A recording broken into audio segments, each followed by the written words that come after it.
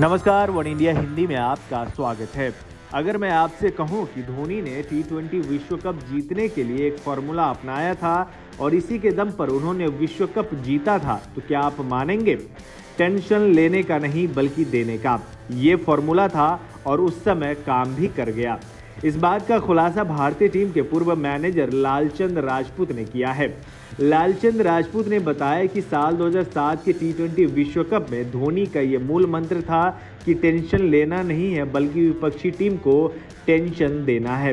गौरतलब है कि धोनी की कप्तानी में साल 2007 में टीम इंडिया ने टी विश्व कप जीता था। उस वक्त टीम इंडिया के मैनेजर थे लालचंद राजपूत। लालचंद राजपूत ने बताया कि साल 2007 के टी विश्व कप में M S Dhoni South Africa में काफ़ी रिलैक्स थे। उन्होंने बताया कि वो किस तरह से अपनी टीम के खिलाड़ियों से उनका सर्वश्रेष्ठ निकालने में सफल हो पाए। धोनी का मूल मंत्र था, टेंशन लो मत, सिर्फ़ दो। लालचंद राजपूत ने एक वेबसाइट से बात करते हुए कहा कि किसी भी टीम के रूप में ड्रेसिंग रूम का माहौल अच्छा होना चाहिए, जहाँ पर खिलाड़ी को किसी भी तरीके का दबाव महसूस ना हो और वो मोटिवेट रहे। वर्ल्ड कप में हमारी थीम थी, टेंशन लो मत, टेंशन दो।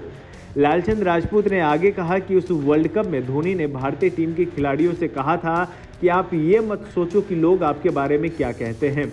आप सिर्फ़ और सिर्फ़ अपनी ताकत पर भरोसा रखें राहुल द्रविड़ की कप्तानी के बाद धोनी को टीम इंडिया की कमान दी गई थी और उन्होंने उस विश्व कप में कमाल भी कर दिखाया था। आपको बता दें कि लालचंद राजपूत ने आगे बताया कि धोनी में ये आदत थी कि अगर वो किसी भी खिलाड़ी में थोड़ी सी भी कम क्षमता देखते थे तो उसे ज़्यादा मौका दिया करते थे। उन्होंने भारतीय खिलाड़ियों की मानसिकता को बदल दिया और इसके साथ ही वो आगे बढ़े और आज वो भारत के महान कप्तान भी हैं।